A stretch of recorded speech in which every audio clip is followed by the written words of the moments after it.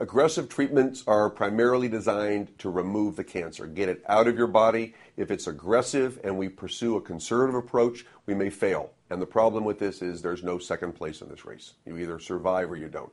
So, aggressive treatment is surgical removal. For many years, it was a fairly horrendous, big operation, a lot of blood loss, time in the intensive care, and you were miserable for a long time weeks, if not months. But with advances in surgical techniques, new laparoscopic techniques, the operation is a couple of hours, you're in and out. Some men are home the next day, feeling great. They can't believe they had anything done. In fact, the biggest problem is that we want men to take it easy and they feel so good that they want to resume normal strenuous activities. So, aggressive surgical management, removing the cancer, is still the gold standard. It's still the primary way to get this cancer out of your body so you can live a normal life.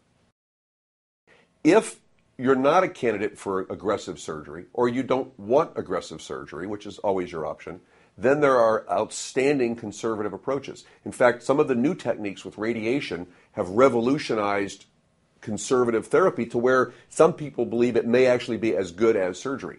That includes some of the new radiation techniques, uh, radioactive seed therapy, hormone therapy.